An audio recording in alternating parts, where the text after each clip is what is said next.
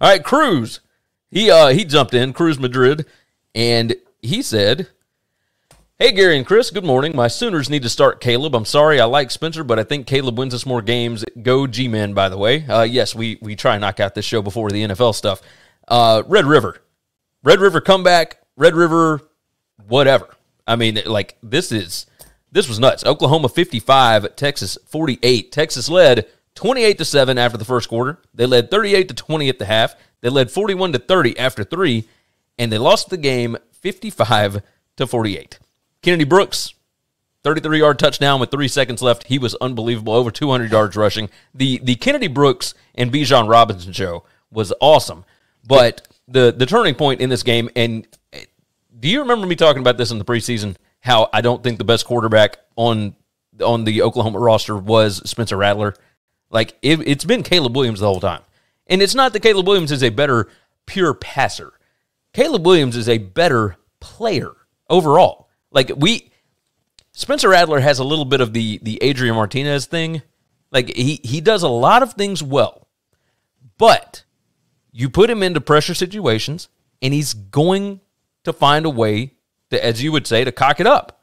Yep. And and that's what he had here. Ethan Broom, this is such a stressful year to be a fan of the Irish. I disagree. I think Uh. it's exciting. I think it's fun. But anyway, so I want to I want to get to I want to get to what Cruz said.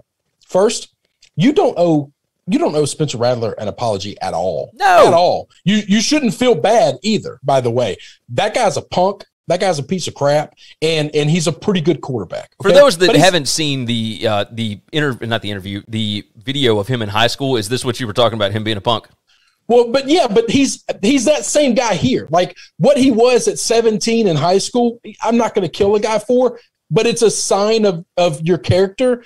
And if you never grow out of that, then yeah, that's what you are and you're a piece of crap.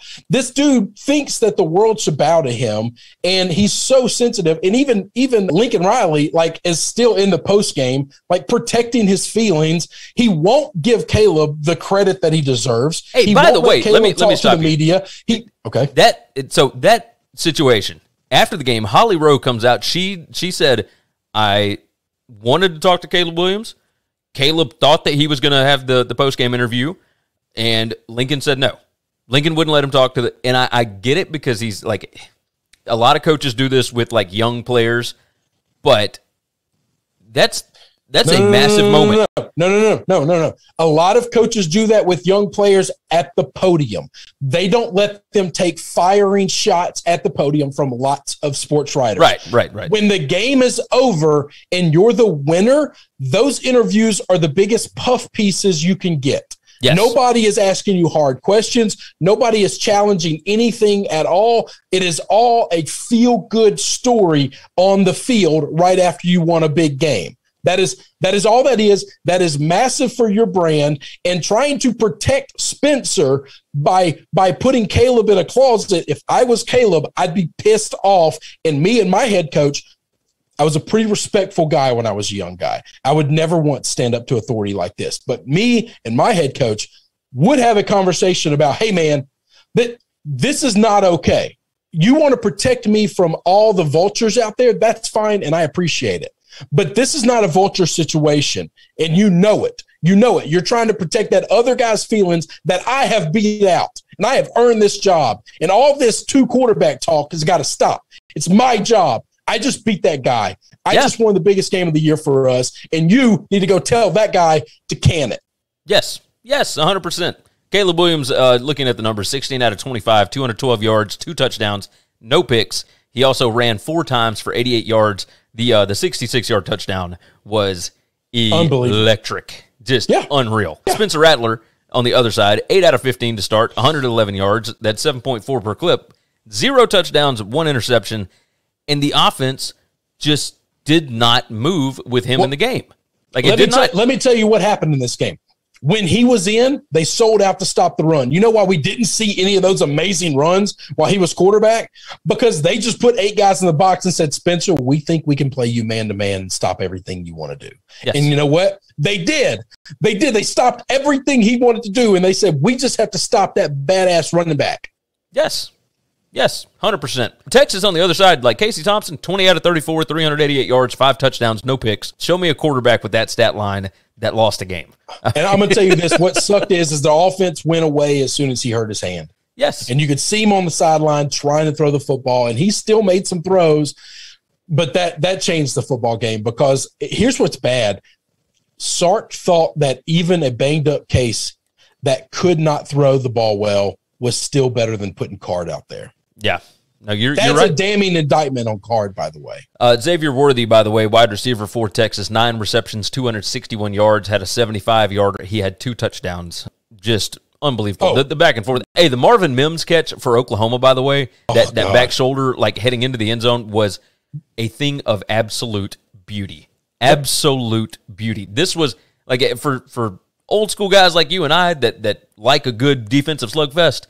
This was Oh, still a hell of a lot of fun. No, this Like, was oh. this was a great game. What I liked about this game is it was haymaker after haymaker, man. I mean, it was like the prize fight last night that we got. It was just it wasn't matriculating the ball down the field. It was I am going for the kill every drive. Yes. I get four downs and one of these four. I'm going for the house. It, it was it was absolutely ridiculous.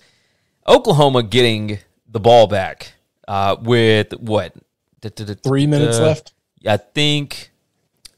Yeah, I'm trying to think. a- no, no, no. They, a- here we go. All right, so they they scored they scored a touchdown with uh, let's see, seven minutes left to tie the game at 41, and then they got the ball back right afterwards on a a kickoff.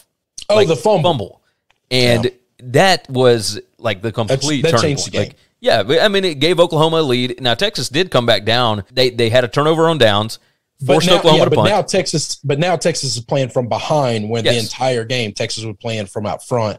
Every score they got was a score to give them the lead. Every score Oklahoma was getting was getting to tie it. Now with that turn of events, it flipped everything. Yes, yes, you are correct about that. Uh, before we move on to the next game, we got a ton of guys watching. If you would so kindly make sure and hit that like button for us, we would definitely appreciate that. And if you're not already subscribed, go ahead and knock that out for us too. We would certainly appreciate it. Thanks for listening to the Winning Cures Everything podcast. The website is winningcureseverything.com. And if you want to connect with us, we're on Twitter at Gary WCE, at Chris B. Giannini, at Winning Cures, or you can email us, Gary at winningcureseverything.com or Chris at winningcureseverything.com. Subscribe everywhere you need to subscribe, and we'll see you soon.